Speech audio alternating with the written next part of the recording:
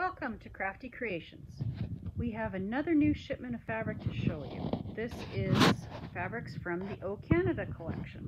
Look at that amazing panel with all those beautiful maple leaves and different colors on it.